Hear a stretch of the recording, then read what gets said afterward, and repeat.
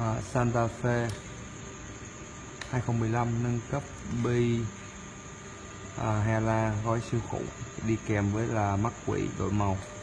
Các bạn thể quan sát thấy à, sau khi mở ra và vào vào keo thì có thể nói là như zin không cái gì hết và à, được à, đèn được bọc rất là cẩn thận bằng một lớp keo như thế này đây. À. ở đây là mắt quỷ đổi màu cho Santa Fe 2016 à, được điều khiển qua điện thoại. Đây là mình để chế độ RAM à, có những cái màu căn bản như này đây. Mình có thể sẽ lựa cho các bạn coi đây là màu tím. Rất là đẹp so với màu đỏ. Vàng không tệ. Xanh lá cho những ai thích cá tính và màu xanh băng xanh dương.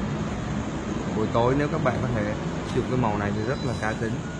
À, mình sẽ test cho bạn có thể coi đây là bi hay là năm thế hệ mới. Quy năm thế hệ mới các bạn thấy đường cắt rất là dài. À, tại mấy xe khách gửi lại hơi đông nên nó tặng nó cản cái tầm nhìn của các bạn. À, đây là pha của xe. Ok. Cái đường cắt các bạn thấy nếu mà so ra hai bên đường cắt rất là thẳng và dài rất cực kỳ khủng khiếp. Pha. Quay kìa wow đá pha cực kỳ nhanh